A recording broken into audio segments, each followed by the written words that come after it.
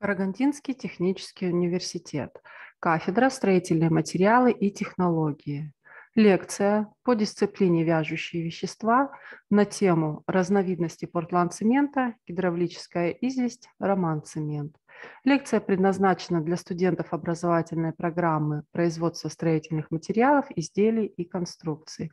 Автор лекции – старший преподаватель кафедры СМИТ Дивак Людмила Анатольевна. План занятия.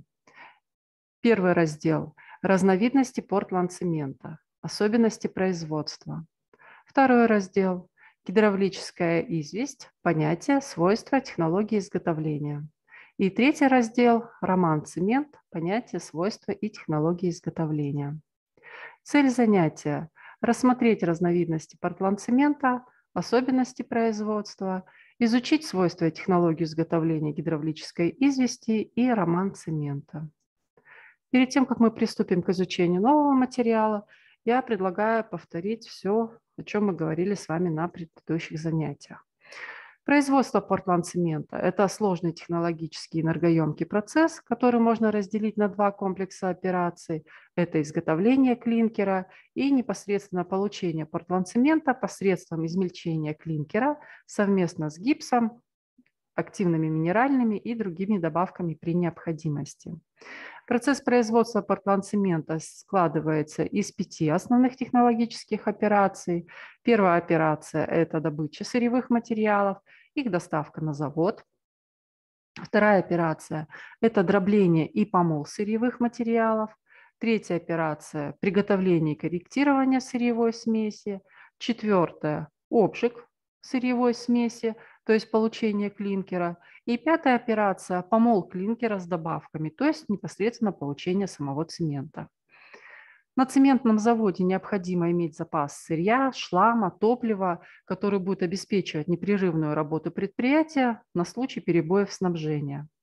Нормами технологического проектирования цементных заводов рекомендуются следующие запасы материалов в сутках известняка 3-5 тонн, корректирующих добавок 15-20 тонн, гипсового камня от 30 до 40 тонн, активных минеральных добавок от 15 до 20 тонн, твердого топлива от 10 до 15 тонн и жидкого топлива 15 тонн.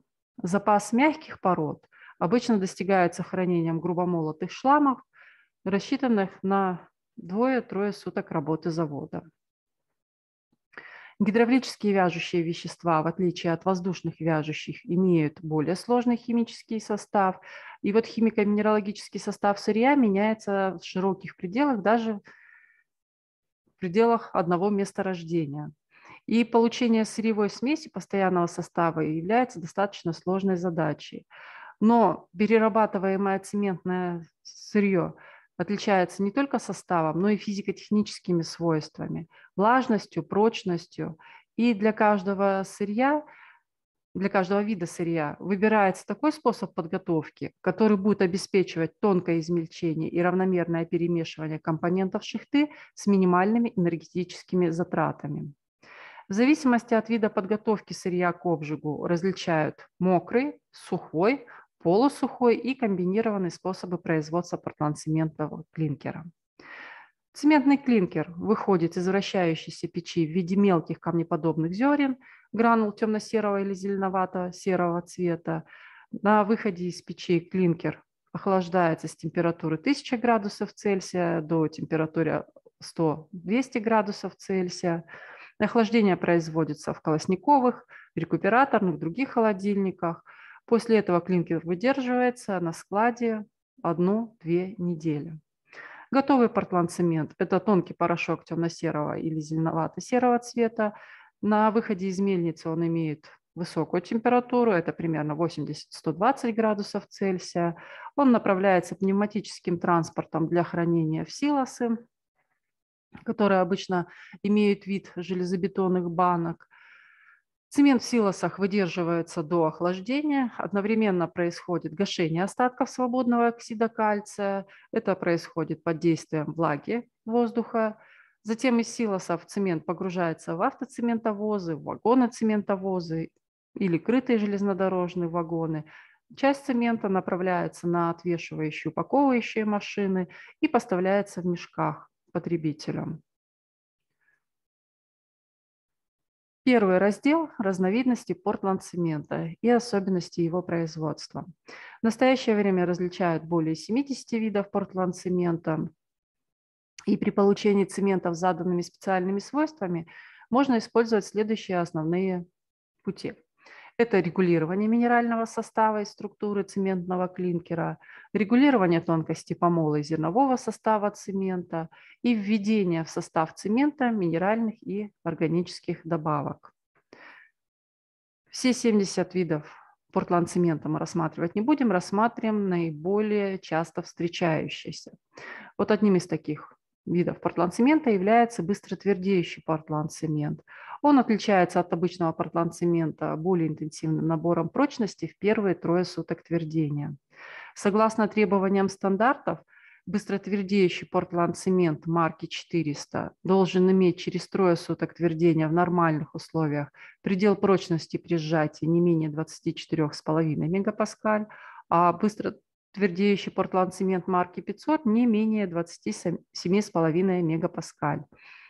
Через трое суток твердения рост прочности замедляется, и к 28-суточному возрасту уже прочность быстротвердеющих цементов такая же, как и у обычного портланд-цемента марк 400-500 соответственно. Быстрое твердение быстротвердеющих портланд-цементов достигается повышенным содержанием в клинкере активных минералов – и более тонкого помола цемента. Удельная поверхность зерен при этом может составлять от 3500 до 4000 сантиметров квадратных на грамм. При помоле быстротвердеющих цементов допускается введение активных минеральных добавок осадочного происхождения. Их количество не должно превышать 10%. Также можно применять доменные гранулированные шлаки. Их количество может достигать до 20% от массы цемента. Разновидностью быстротвердеющего цемента является особо быстро твердеющий портланд-цемент. Он характеризуется не только большой скоростью твердения в начальный период, но и высокой маркой. То есть особо быстро твердеющий портланд-цемент может выпускаться маркой М600, М700. Такой цемент изготавливается тонким измельчением клинкера, который содержит 65-68% олита, и не более 8% трехкальцевого алюмината. Измельчение проводится совместно с добавкой гипса до отдельной поверхности 4000-4500 см квадратных на грамм и более. При производстве особо быстро твердеющих портланд-цемента введение минеральных добавок не допускаются. Ну, кроме быстротвердеющих портланд-цементов и особо быстротвердеющих портланд-цементов, разработан также сверхбыстротвердеющий цемент специального минерального состава. Такой цемент обеспечивает интенсивное нарастание прочности уже в первые сутки его твердения, то есть уже через 6 часов его прочность составляет 10 мегапаскаль. Интенсивность роста прочности бетона на быстротвердеющих цементах возрастает в условиях тепловлажностной обработки изделий при температуре 70-80 градусов Цельсия. И через 4-6 часов удается получить изделие с прочностью, которая будет соответствовать 70-80% от 28-суточного возраста. Быстротвердеющие портландцементы целесообразно применять при массовом производстве сборных железобетонных изделий, а также при проведении зимних бетонных работ. Применение быстротвердеющих цементов дает возможность сохранить, сократить расход цемента, снизить длительность тепловлажностной обработки или даже отказаться от нее. Этим можно увеличить оборот форм и сэкономить металл. Быстротвердеющие цементы нельзя применять для бетонов массивных конструкций и для бетонов, которые подвергаются сульфоалюминатной коррозии. Следующая разновидность портланд-цементов – это сульфатостойкий портланд-цемент. Он отличается от обычного портланд-цемента не только более высокой стойкостью способностью к сульфатной коррозии, но и пониженной экзотермией при твердении и повышенной морозостойкостью.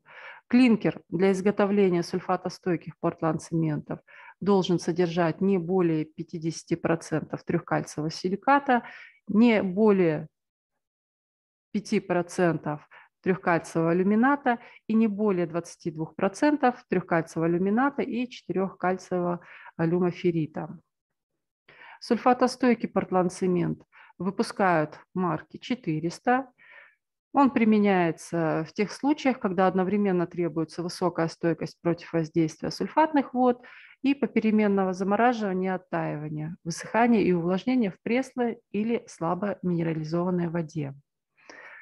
Технология изготовления сульфатостойкого портландцемента и обычного цемента отличаются очень незначительно, но здесь необходима организация более жесткого технического контроля.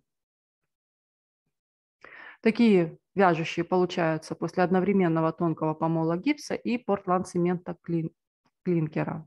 В качестве минеральных добавок широко используются электротермосфосфорные, гранулированные доменные шлаки. Их количество в сырьевой смеси может составлять от 10 до 20 процентов. А для сульфатостойкого шлака портландцемента их количество может составлять от 40 до 60 процентов. Также в качестве активных добавок могут быть применены осадочные породы. Их количество составляет при этом от 5 до 10 процентов. Большое значение при производстве сульфатостойкого портландцемента имеет состав клинкера. В нем должно быть не более 50% трехкальцевого силиката, не более 5% трехкальцевого алюмината. Длинноземистый модуль должен быть 0,7 или более. Также обязательно необходимо учитывать, что сумма трехкальцевого алюмината и четырехкальцевого алюмоферрита в клинкере должна быть не более 22%. В составе также может быть оксид магния, оксид алюминия. Их количество может быть до 5%. Также в составе глинистой составляющей рекомендуется применять опоку или трепел. Следующие разновидности портландцемента – это белые и цветные портландцементы.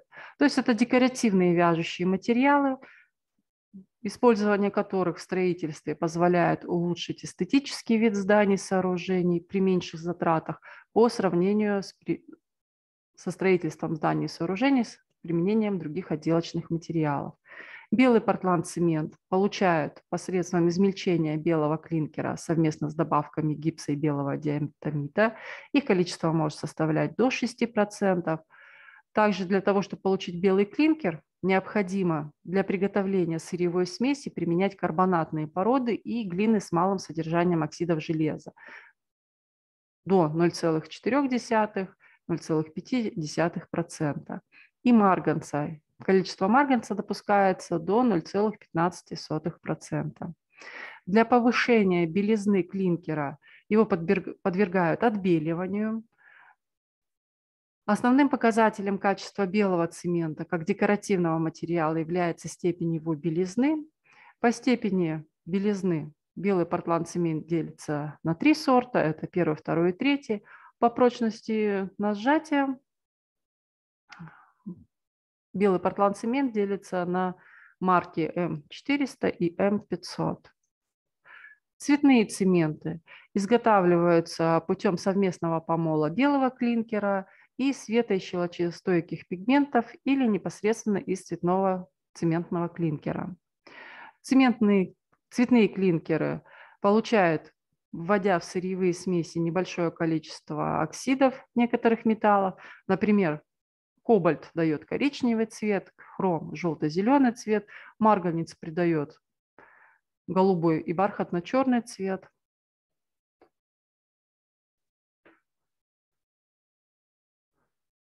Следующий вид цементов – это портландцементы с органическими поверхностно-активными добавками. Такие портландцементы получают путем совместного помола портландцементного клинкера, гипса и небольшого количества добавок поверхностно-активных веществ.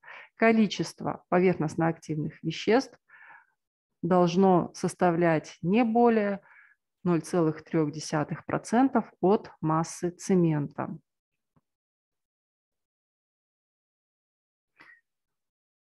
Допускается выпускать все цементы с поверхностно-активными добавками, не выделяя их в особый класс.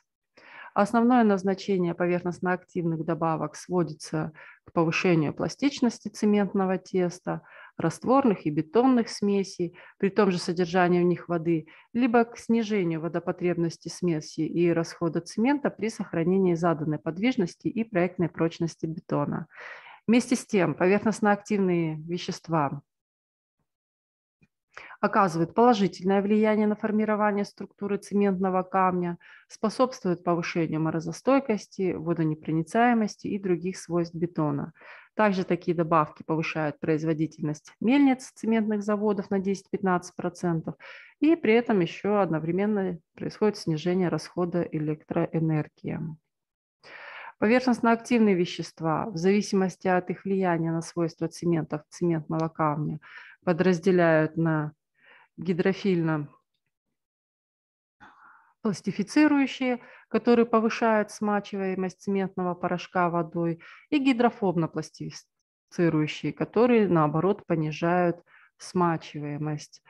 Ну и в соответствии с этим портландцементы с гидрофильными добавками называют пластифицированными, а портландцементы с гидрофобными добавками называют гидрофобными.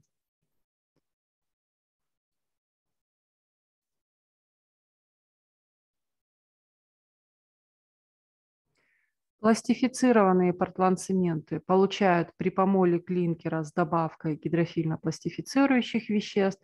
Их количество составляет от 0,15 до 0,25% от массы цемента. В качестве таких добавок может быть использован лигносульфонат технический, который получают как отход при сульфитной варке целлюлозы. Лигносульфонат адсорбируется на поверхности зерен цемента и улучшает их смачивание водой. Образующиеся адсорбционно-гидратные слои воды обеспечивают гидродинамическую смазку зерен, уменьшается трение между этими зернами и одновременно препятствует слипанию зерен в хлопья. Благодаря этому повышается пластичность цементного теста, ну и, соответственно, в бетонной смеси повышается устойчивость к расслоению. Такие свойства пластифицированного портландцемента, как сроки схватывания, скорость твердения, прочность, примерно соответствуют свойствам обычных портландцементов, но применение пластифицированного портландцемента дает возможность снизить трудоемкость укладки бетонной смеси, уменьшить расход цемента снизить водоцементное отношение и, соответственно, увеличить плотность, прочность, морозостойкость и водонепроницаемость бетона. Классифицированные портландцементы широко используются в дорожном, аэродромном и гидротехническом строительстве. Гидрофобный портландцемент впервые был предложен Хигеровичем и Скрамтаевым. Такой цемент получают вводя при помоле клинкера от 0,1 до 0,3% меланафта, асидола, окисленного петролатума, синтетических жирных кислот, их кубовых остатков и других гидрофобизирующих поверхностно-активных добавок. Гидрофобный цемент, в отличие от обычного портландцемента, при длительном хранении даже в очень влажных условиях не комкуется, сохраняет свою активность.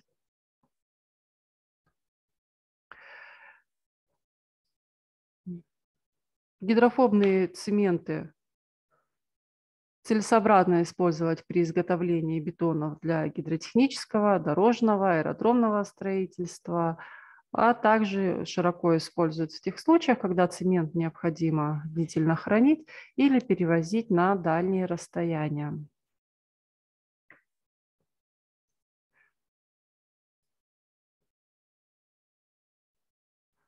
Портландцементам с активными минеральными добавками относят цементы, получаемые совместным помолом портландцементного клинкера и активных минеральных добавок или тщательным смешиванием этих компонентов после раздельного измельчения каждого из них. В зависимости от вида минеральной добавки, ее количество. Портландцементы с минеральными добавками делятся на три вида. Это портландцементы с минеральными добавками ПЦД, пуцалановые портландцементы ППЦ и шлакопортландцементы ШПЦ.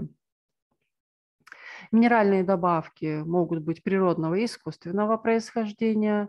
К природным активным минеральным добавкам относят некоторые виды осадочных горных пород, таких как диатомит, трепел, опок, углеежи, а также породы вулканического происхождения. То есть это вулканический пепел, туф, пемза.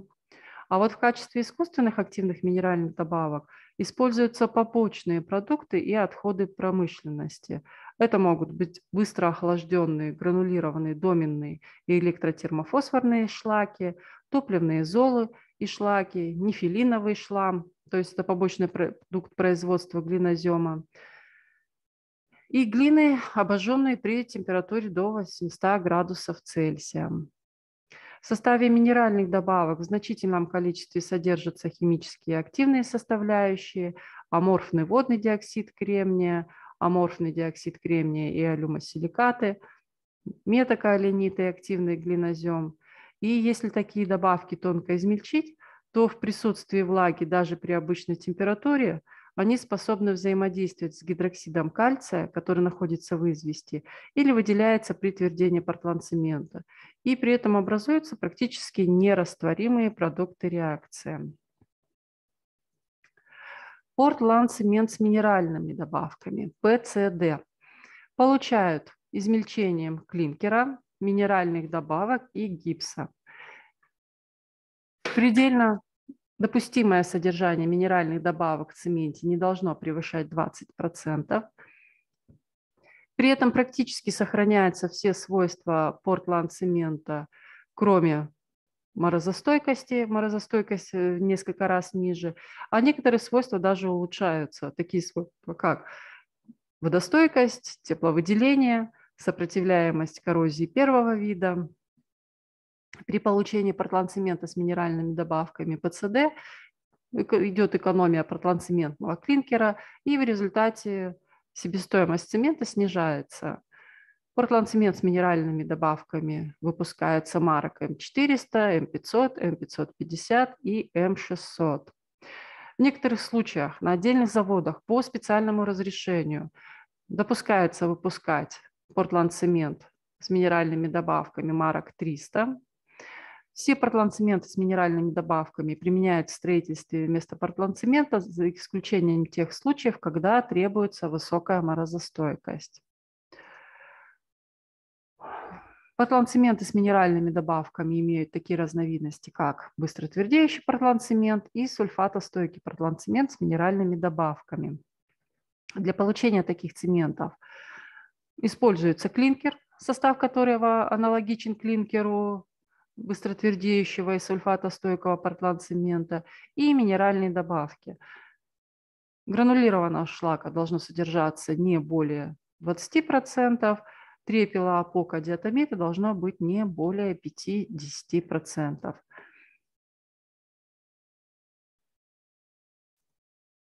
Пуцелановые портландцементы изготавливают путем совместного тонкого помола клинкера который содержит не более 8% трехкальциевого алюмината, необходимого количества гипса и активной минеральной добавки, количество которой может составлять от 20 до 40%. Также пуцелановый цемент можно изготавливать посредством тщательного смешивания этих же материалов, которые предварительно измельчаются раздельно. Содержание активных минеральных добавок устанавливается с учетом активности минеральной добавки и минерального состава клинкера. Уцелановый портландцемент относится к группе сульфатостойких цементов и выпускается марок М300 и М400.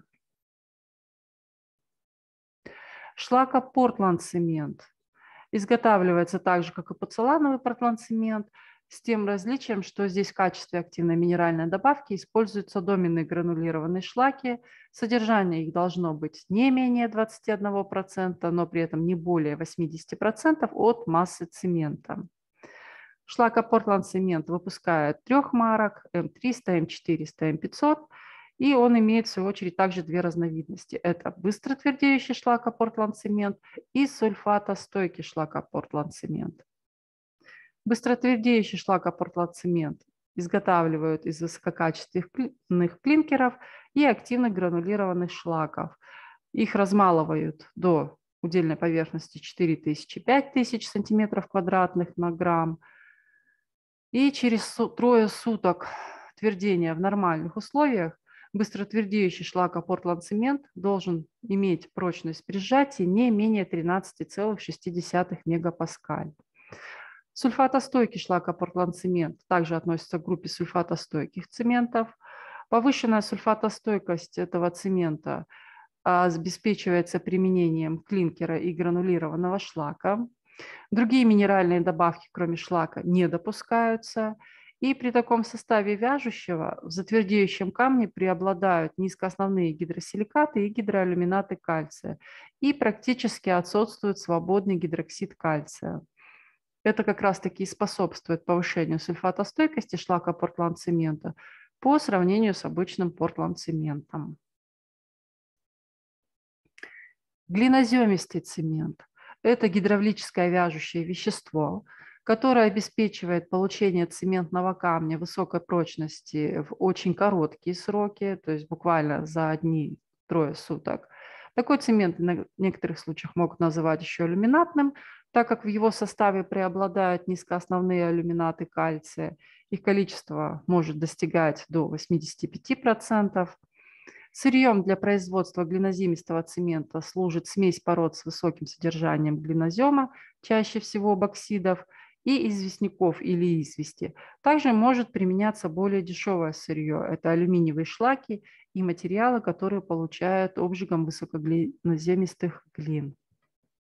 Глиноземистые цементы изготавливают плавлением сырьевой смеси в электрических печах, в огранках, конвертерах, Температура плавления составляет более полутора тысяч градусов Цельсия и реже применяют обжиг до спекания при температуре около 1300 градусов Цельсия во вращающихся печах или на агломерационной ленте. Сплав, который получается после воздействия высокой температуры или клинкер, охлаждают, размалывают в порошок, так же, как и при производстве портландцемента. Сплав и клинкер глиноземистого цемента отличается высокой твердостью, ну и поэтому получается, что глиноземистый цемент очень трудно размалывается, соответственно, затрачивается большее количество электроэнергии и происходит более быстрый износ мелющего оборудования.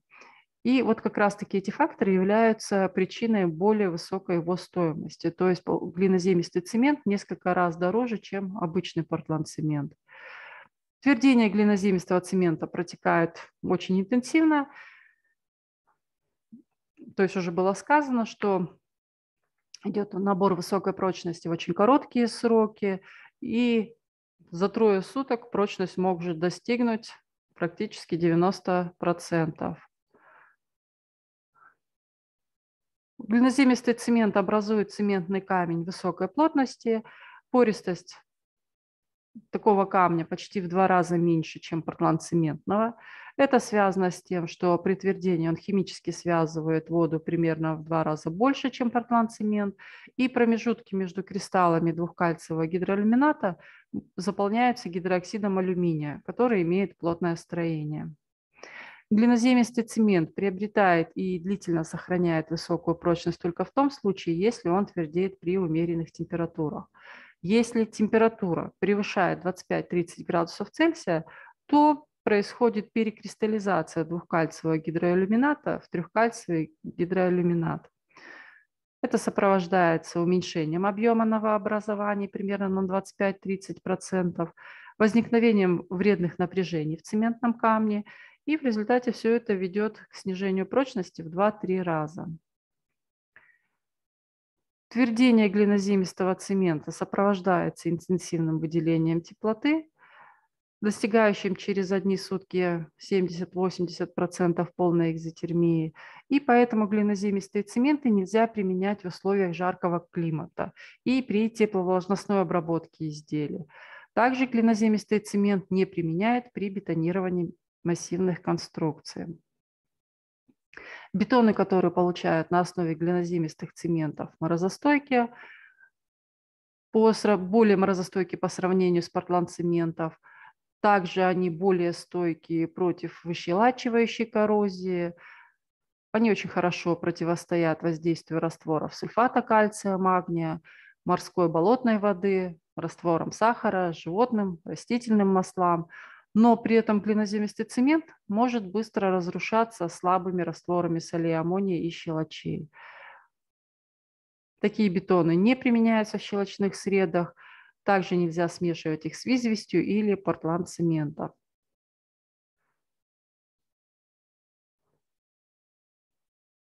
На основе глиноземистого цемента в смеси с жаростойкими заполнителями изготавливают бетоны, которые хорошо сопротивляются действию высоких температур от 1000 градусов Цельсия и выше. И глиноземистый цемент также может быть использован для получения расширяющихся цементов. Расширяющийся и безусадочный цемент – это следующие виды портланд-цемента. Твердение всех гидравлических вяжущих в воздушной среде сопровождается уменьшением объема цементного камня, то есть усадкой. И усадочные деформации могут привести к образованию трещин в бетонах, это может нарушить монолитность конструкции и, соответственно, снизить их долговечность. Для расширяющихся и безусадочных цементов характерно равномерное превращение объема цементного камня в начальный период твердения, и это компенсирует усадочные явления.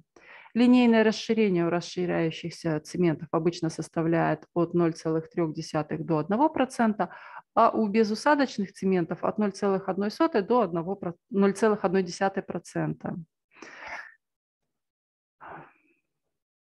Многочисленные виды расширяющихся цементов представляют собой смешанные цементы, которые состоят из основного вяжущего вещества, то есть глиноземистого или портланд-цемента, и компонентов, которые будут обеспечивать увеличение объема цементного камня в начальный период твердения.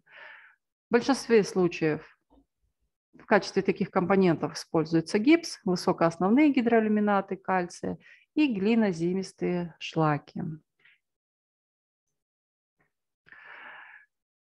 В промышленности строительных материалов изделий в настоящее время нашли применение следующие виды расширяющихся цементов. Это цементы на основе глиноземистого цемента, такие как водонепроницаемый расширяющийся цемент, водонепроницаемый безусадочный цемент, глиноземистый цемент. А на основе портланд-цемента это расширяющийся портланд-цемент и цементы на основе портланд-цемента и глиноземистого цемента, которые носят название напрягающий цемент. Водонепроницаемый расширяющийся цемент получают смешиванием или совместным помолом глиноземистого цемента.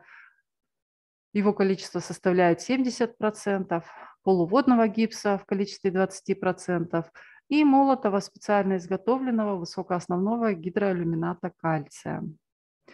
Водонепроницаемый безусадочный цемент состоит из тех же компонентов, что и водонепроницаемый расширяющийся цемент, но эти компоненты представлены в несколько иных соотношениях.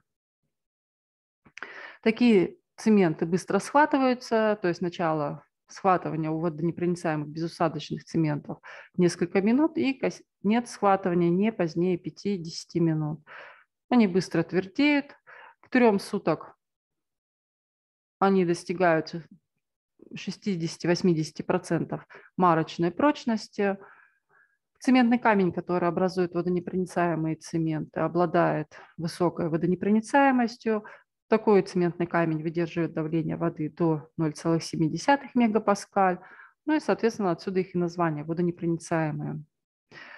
Водонепроницаемые расширяющиеся и безусадочные цементы применяют для заделки и гидроизоляции швов тюбингов, раструбных труб, стыков, трещин в бетонных железобетонных конструкциях. Также в качестве подливок под машины и фундаменты. Нельзя применять эти цементы в конструкциях, которые эксплуатируются в среде с недостаточной влажностью или при температуре более 80 градусов Цельсия.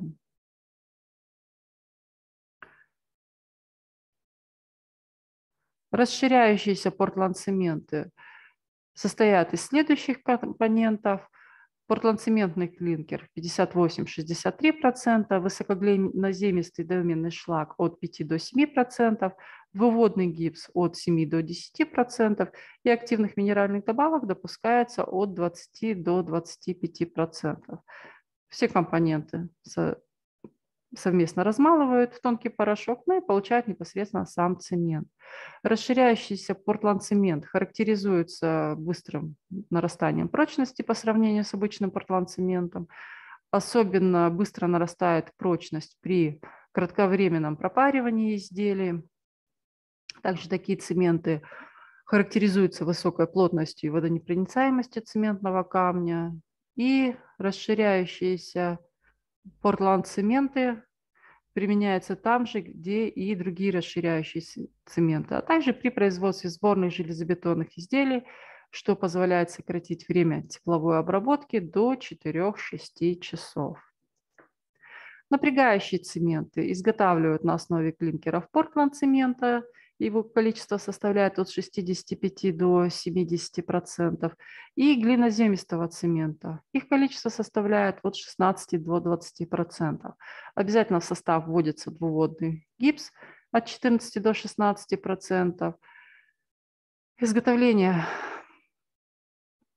происходит путем совместного помола до удельной поверхности не менее 3500 сантиметров квадратных на грамм. Напрягающий цемент быстро схватывается, буквально через 2-7 минут, очень быстро твердеет. И через сутки нормального твердения он уже приобретает прочность до 20 мегапаскаль. Характерной особенностью такого цемента является не только значительная величина, но и большая энергия расширения, что обеспечивает самонапряжение камня до 3-4 мегапаскаль. Это свойство напрягающих цементов позволяет использовать его для изготовления самонапряженных железобетонных конструкций, в которых натяжение арматуры возникает при расширении твердеющего цемента, и при этом арматура может получить двух-трехосное напряжение, чего достаточно трудно добиться при применении обычных приемов натяжения арматуры. Напрягающий цемент рекомендуется применять для изготовления напорных труб, других тонкостенных железобетонных изделий, ну и, соответственно, для конструкции с напряженной арматурой. Так, ну вот мы с вами рассмотрели наиболее распространенные виды портландцемента в технологиях изготовления, основные свойства, отличия от обычного портландцемента. И теперь переходим к изучению следующего раздела. Это гидравлическая известь, понятия, свойства и технологии изготовления. Гидравлическая известь – это продукт, который получает обжигом при температуре от 900 до 1100 градусов Цельсия известняков, которые содержат от 6 до 20% глинистых примесей. Такие известняки называют обычно мергелистыми. Они могут содержать примеси песка, которые иногда встречаются в значительных количествах, например, в окременелых известняках. Мергелистые известняки также могут содержать углекислый кальций, то есть они могут быть доломатизированными, и также другие примеси. Обычно к мергелям относят породу, которая содержит от 30 до 90% оксидов кальция или магния, и, соответственно, от 70 до 10% глинистых частиц. Известняки с содержанием глинистых примесей от 2 до 8% называют слабомергелистыми известняками, а получаемая из них известь носит название слабогидравлическая. При содержании глинистых примесей в пределах от 8 до 20% известняки называются мергелистыми, и получаемая из них известь носит название сильно гидравлические – Слабогидравлическая известь в обычном виде гасится частично, а сильногидравлическая известь вообще не гасится. Для того, чтобы придать определенные свойства, свойства вяжущих веществ, гидравлическая известь должна быть подвергнута тонкому помолу. Гидравлическая известь после твердения на воздухе может твердеть как в воде, так и во влажной среде. По минеральному составу мергели также бывают известковые, мелоподобные, доломитовые, и в зависимости от примеси различают кремнеземистые, глауконитовые, песчанистые, слюдистые, битуминозные и углистые мергели. Окраска мергели различна, но чаще всего она светлая. Также мергели могут быть использованы как сырье в производстве некоторых видов цемента. И составные части мергеля обычно разделяют на две группы по растворимости их в соляной кислоте. И все, что не растворяется, относится к глине. Кроме глины в мергелях также могут присутствовать углекислые соли магния и железа, окислы железа, иногда марганца, и также примеси ангидрита. Свойства гидравлической извести. Истинная плотность составляет от 2,6 до 3 грамм на сантиметр кубический. Насыпная плотность в рыхло-насыпном состоянии от 700 до 800 кг на метр кубический, а в уплотненном состоянии от 1000 до 1100 кг на метр кубический.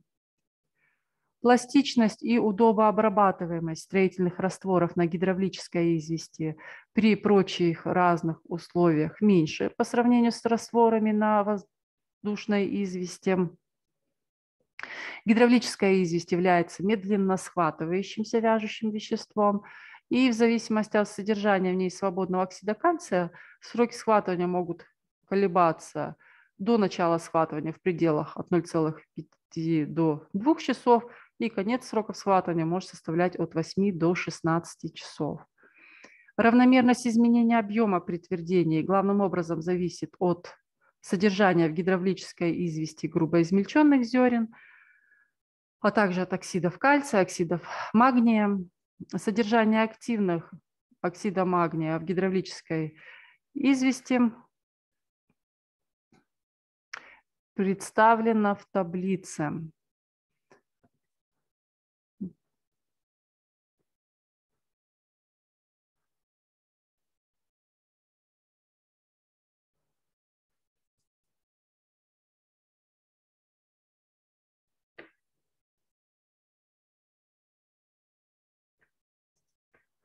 Равномерность изменения объема при твердении гидравлической извести устанавливается испытанием образцов в виде лепешек, которые изготавливаются из теста. При правильно выбранном режиме твердения строительные растворы и бетоны на гидравлической известью обладают более высокой прочностью по сравнению со строительными растворами и бетонами, изготовленными на воздушной извести. При испытании гидравлической извести Образцы кубы размерами 7,07 на 7,07-7,07 см из малопластичного раствора состава 1 к 3 по массе с нормальным воздуховским песком должны иметь прочность при сжатии через 28 суток комбинированного хранения. У сильногидравлической извести прочность будет составлять 5 мегапаскаль, у слабогидравлической не менее 1,7 мегапаскаль. Цвет гидравлической извести желтоватый или серый. Количество непогасившихся зерен должно быть не более 15% от веса негашенной извести. При взаимодействии гидравлической извести с водой протекают процессы, которые характерны как для воздушного, так и для гидравлического твердения. Первые процессы обусловлены твердением известковой части, а вторые процессы обуславливаются твердением силикатов, алюминатов, ферритов кальция. При этом происходит образование гидросиликатов, гидроалюминатов и гидроферритов кальция. Известь может выпускаться в виде кусков или порошка. Она содержит низкоосновные минералы и свободные окиси кальция и магния. Чем больше содержания свободных окисей кальция в извести, тем меньше у извести способность к гидравлическому отвердению.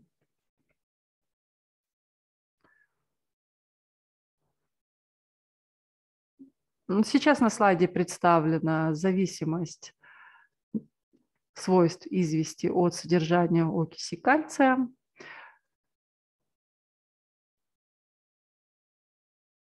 Смоченная водой гидравлическая известь гасится, рассыпается в порошок, а если не смачивать гидравлическую известь водой, а залить ее водой, то в результате образуется пластичное тесто, но для того, чтобы оно затвердело, рекомендуется хранить его не более суток.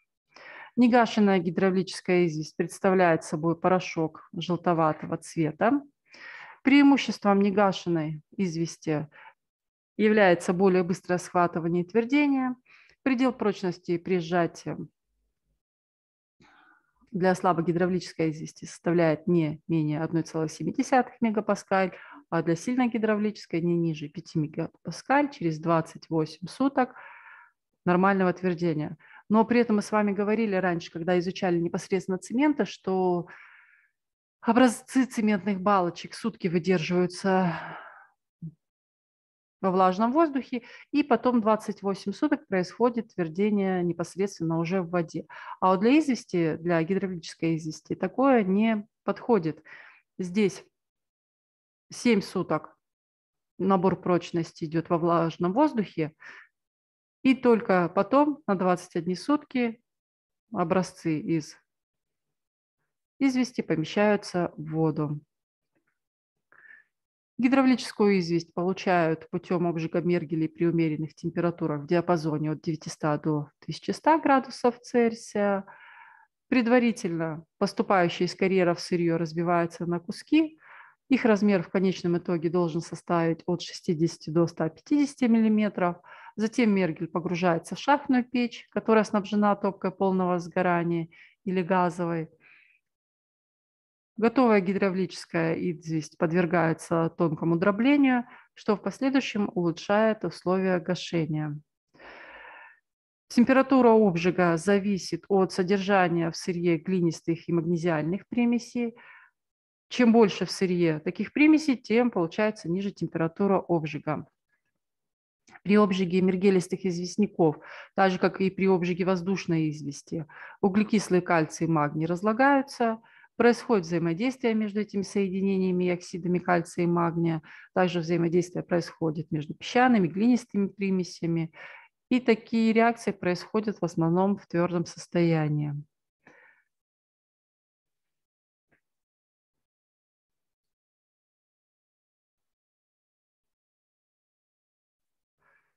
Ну и здесь хотелось бы отметить, что расход условного топлива при обжиге гидравлической извести ниже, чем при обжиге воздушной извести.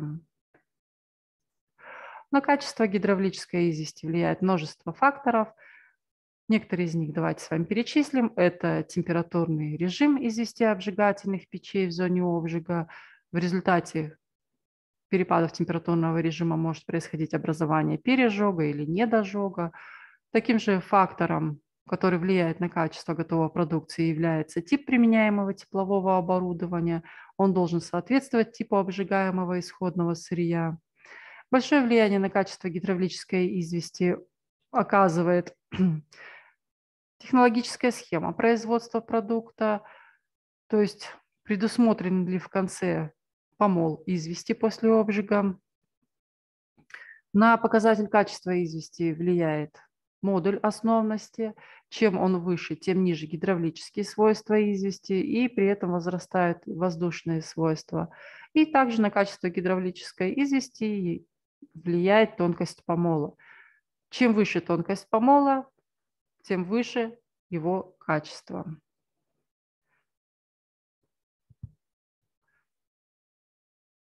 При схватывании и твердении молотой гидравлической извести протекают физико-химические процессы, которые характерны для твердения молотой негашенной извести с одной стороны и гидравлических вяжущих с другой стороны.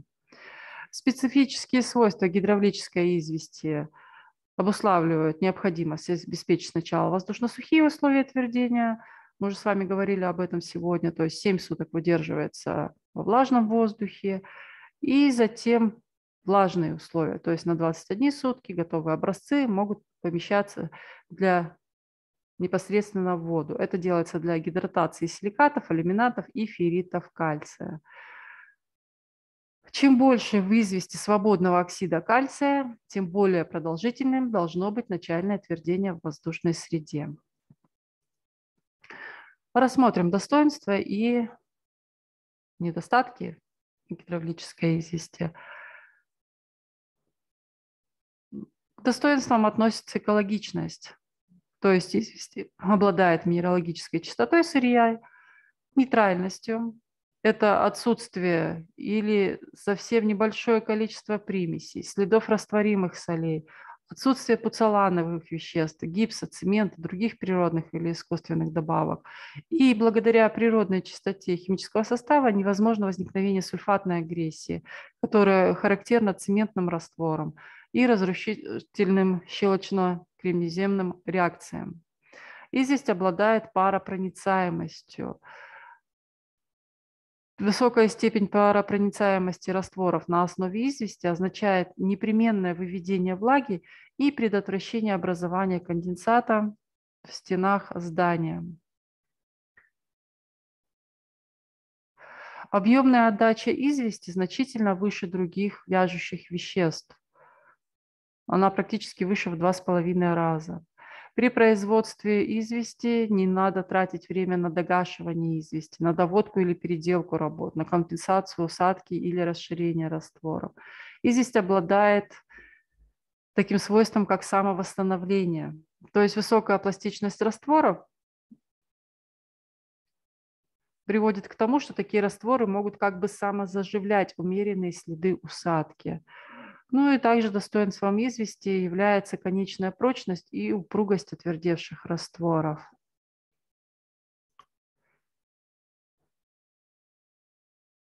Известь, изделие на основе извести обладает долговечностью, эстетичностью. Окрашенные поверхности остаются белыми, без выявления высолов. Растворы на основе гидравлической извести устойчивы к жаре, засухе, осадкам, морозам. Они имеют высокую сопротивляемость микрофлоре, химикатам. Но и гидравлическая известь, так же как и воздушная известь, используется для изготовления кладочных, штукатурных растворов. А вот растворы и бетоны на гидравлической извести можно применять в конструкциях, которые находятся в воздушной среде, во влажных условиях. Употреблять гидравлическую известь можно для приготовления легких и тяжелых бетонов низких классов, которые применяются при строительстве различных частей зданий. Также гидравлическую известь допускается применять для кладки фундаментов ниже уровня грунтовых вод, при условии предохранения конструкции в течение первых 7-14 дней твердения от непосредственного воздействия воды.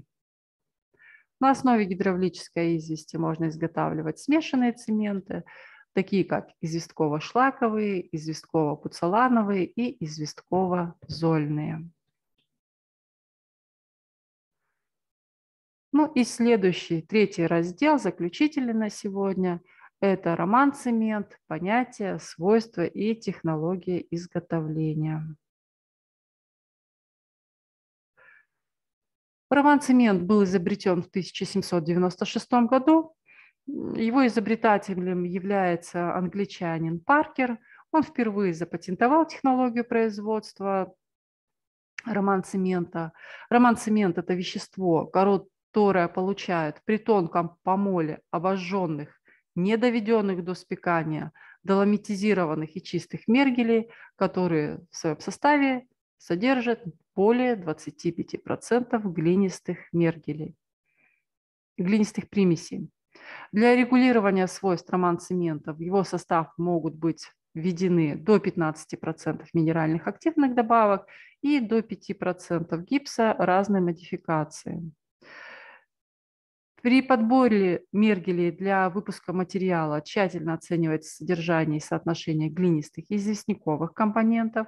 После обжига в роман-цементе должен отсутствовать свободный оксид кальция. Если роман-цемент обладает высоким качеством, то это вещество в нем заменено силикатами, алюминатами и ферритами кальция. В зависимости от того, какой вид мергеля применяется, свойства роман-цемента сильно меняются. Они зависят не только от химического состава сырья, они зависят также от структуры, от характера и степени равномерности распределения в мергеле различных примесей. И роман-цемент наиболее лучшего качества получает из мергеля, который не содержит значительного количества магнезиальных примесей. Гидравлический модуль роман-цемента колеблется в пределах от 1,1 до 1,7. В таком цементе содержится больше глинистых веществ по сравнению с цементом и гидравлической известью. Ну и как уже было сказано сегодня, в роман-цементе большая часть извести связана в силикаты, алюминаты и ферриты кальция. И вот такой состав как раз-таки и характеризует гидравлический характер твердения роман-цемента. В некоторых случаях для повышения прочности к роман-цементу добавляют гипс в количестве от 5%. И в таком случае уже получаемый продукт будет носить не, название не роман-цемент, а гипсовый роман-цемент. А если в роман-цементе содержится значительное количество свободной извести, то тогда необходимо введение гидравлических добавок в количестве более 16%. Производство роман-цемента заключается в добыче мергеля, его дроблении на куски требуемого размера, обжиге, последующем помоле обожженного сырья. При отсутствии углекислого магния обжиг сырья ведется в основном в шахтных и в некоторых случаях во вращающихся печах. После равномерного печного обжига смесь подвергается тонкому помолу и соединяется с отдельными компонентами. Готовый продукт имеет вид порошка серо-зеленого или желтовато-бурого оттенка. Помол обожженного материала в шаровых мельницах лучше производить совместно с гипсом и активными минеральными добавками, так как при этом получается более однородный продукт. В тех районах, где нет месторождений мергелей, можно изготавливать роман-цемент из искусственно составленной смеси известняка или мергелистого известняка с глиной. В таком случае сырьевые материалы измельчают, смешивают, формируют сырьевую смесь в брикеты и затем их загружают в печь. Но роман-цемент, полученный таким образом, имеет более высокую стоимость. Большое значение при обжиге магнезиальных мергелей имеет правильно выбранный режим обжига и строгое соблюдение этого режима, так как иначе можно получить продукт со свойствами, которые очень значительно колеблются. Температура обжига зависит от состава сырья и его структуры. Например, если в сырье содержится небольшое количество магнезиальных примесей, то температура обжига будет составлять от 1000 до 1100 градусов Цельсия. А для обжига магнезиальных мергелей такая температура очень высокая, так как магнезия при этом будет пережжена и мало способна к гидратации. Поэтому при таких температурах при таких мергелях обжиг ведется при более низкой температуре, и которая зависит от содержания магнезии и составляет от 800 до 900 градусов Цельсия. При слабом обжиге, в особенности при наличии песчаных примесей, в роман-цементе может содержаться некоторое количество несвязанной извести, возможно также присутствие неразложенного карбоната кальция – и это необходимо учитывать при определении величины гидравлического модуля, вводя в расчеты соответствующие поправки. Схватывание и твердение роман-цемента основано на гидратации силикатов, алюминатов кальция, аналогичных имеющимся гидравлической извести и в основном составляющих роман-цемент. Начало схватывания роман-цемента должно наступать не ранее 20 минут от момента затворения водой, конец схватывания не позднее 24 часов. Роман-цемент является медленно твердеющим вяжущим веществом. Оно имеет относительно низкую марочную прочность. И в настоящее время промышленность выпускает роман-цемент марок 25, 50 и 100. Марку определяют по значению предела прочности при сжатии образцов, которые изготавливают из жесткого раствора состава 1 к 3 по весу и испытанных через 28 суток комбинированного хранения. Обратите внимание, так же, как и гидравлическая известь, роман-цемент сначала выдерживает, изделия из роман-цемента сначала выдерживаются 7 суток во влажной среде и затем 21 сутки уже непосредственно в воде.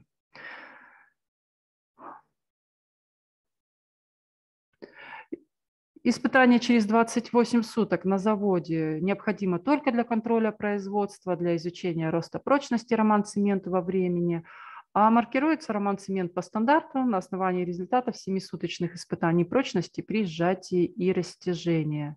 Температура и влажность окружающей среды оказывают очень большое влияние на степень твердения роман-цемента, то есть первые первое время до 7-суточного возраста для его твердения наиболее подходящими являются воздушно-влажные условия, а при повышении температуры окружающего воздуха твердение заметно ускоряется.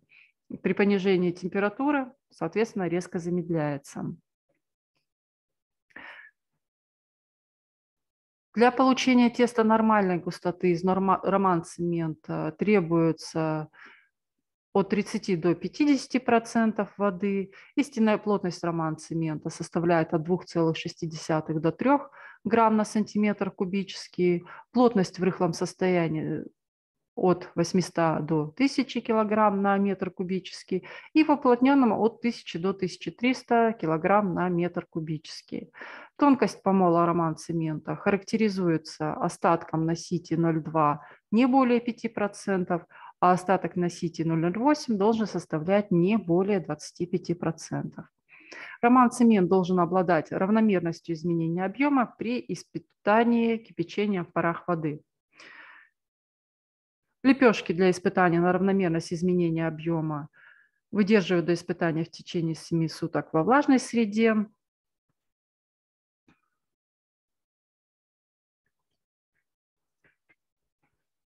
Роман-цемента выпускается в небольшом количестве, так как хранить роман-цемент более чем 3 месяца не рекомендуется, его качество значительно понижается. Роман-цементы из-за невысокой механической прочности при производстве массивных железобетонных конструкций не используются. Они используются в основном при проведении штукатурных работ в помещениях с высокой влажностью, при производстве небольших стеновых блоков с термовлажностной обработкой полученной продукции.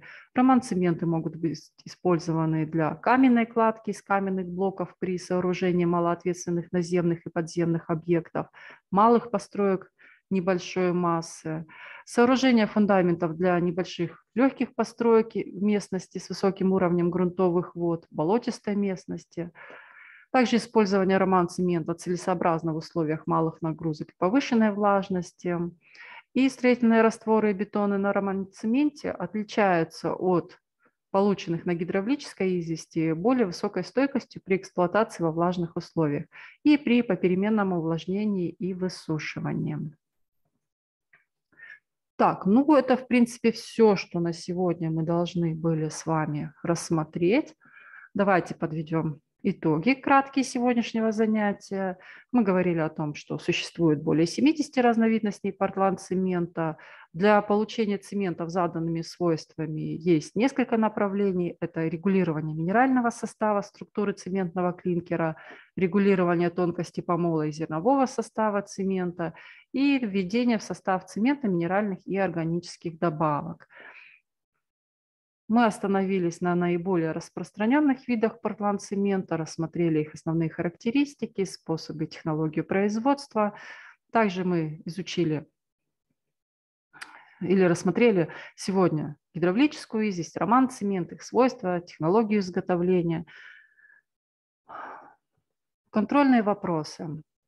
Способы получения цементов с заданными свойствами – Быстротвердеющие портландцементы, свойства, характеристики, области применения.